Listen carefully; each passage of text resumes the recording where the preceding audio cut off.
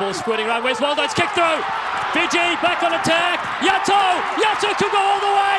Great tackle from Perez. He flings it back in field and they'll score.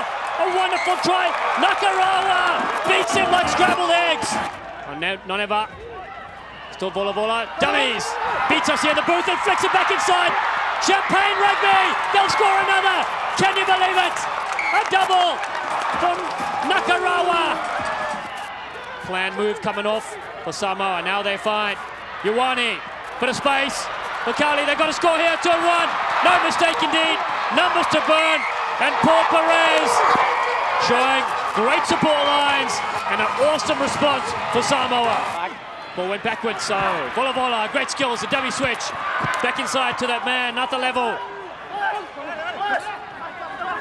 Numbers to burn here.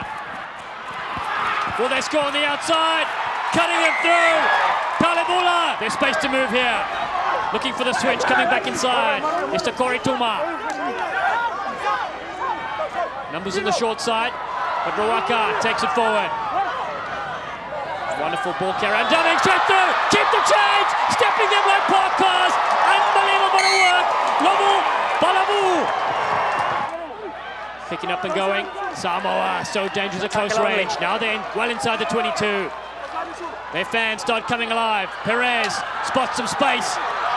They should score here out wide. And as easy as you like, Samoa respond. Carrying the ball like a loaf of bread. The big man touches down. And Changing penalty advantage. No. This is wonderful stuff from Samoa. Set piece dominance here at the rolling maul. Meanwhile, Fiji dominate the scrum time. So this is turning out to be an interesting tussle. Stanley takes it to the line, through the back pass. There it is, space to move. Perenise attacks the line, shows it goes himself. Oh, like a knife through butter. Perenise cuts him to shreds. Gets taken down. Oh, get off me. The big bus, so close to the line. Samoa comes to the short side now. Looks like Jack Lam is in there. Defense is absolutely stellar. you Ioane, could he score? Ioane, yes I do! He's over! Can you believe it? And that will be full time, and it is. JP Doyle ends an absolute cliffhanger of a game.